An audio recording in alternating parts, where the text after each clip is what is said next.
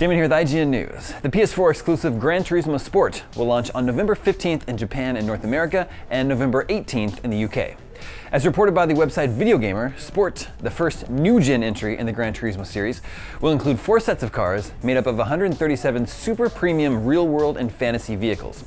19 tracks, including the return of dirt tracks, will be included with 27 possible layouts. It will also include a livery editor, a photo mode called Scapes, which will output at 4K resolution, a Twitter-esque timeline feature for events, and there will be an as yet unspecified companion app released alongside the game.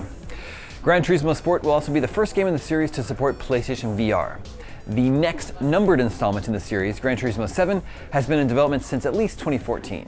For more, stay tuned IGN.